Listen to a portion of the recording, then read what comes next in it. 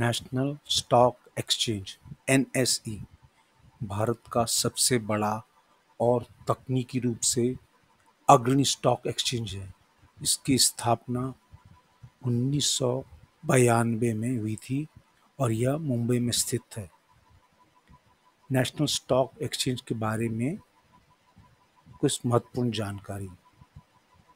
स्थापना उन्नीस स्थान मुंबई, भारत। बाज़ार पूंजीकरण।